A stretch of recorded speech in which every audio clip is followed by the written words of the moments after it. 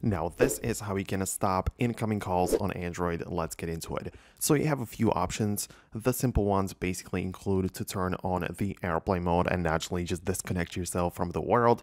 It is possible and it will prevent any incoming calls but also any other connections so perhaps that might not be ideal. Besides that, another cool option which a lot of people use and I do myself is the do not disturb mode.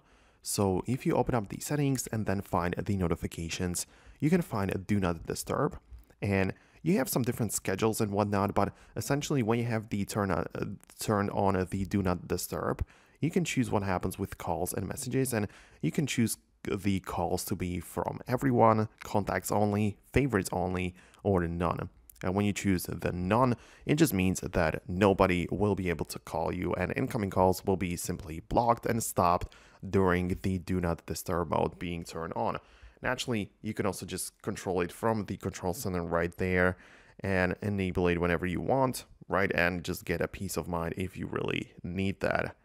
So that's basically how it works using the simple methods. However, if you want to go a little bit deeper, what you can do is from the settings, from the apps view, if you find the phone app, you can tap on it and get inside more like settings and whatnot. And tapping on the notification allows you to not completely dis uh, disable them, but you can at least make them silent or make them not as a pop-up or just take up the whole screen, just silently silently deliver it as a background notification, even though it's a regular phone call. So you can also perform this if you want to, but yeah, I mean, I would personally stick with the do not disturb as it's completely fine and really functional, but you know, you can go a bit further if you wish. So that's it. That's everything I wanted to show you.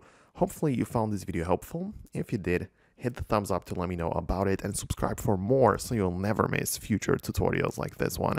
Thanks a lot and I'll see you then.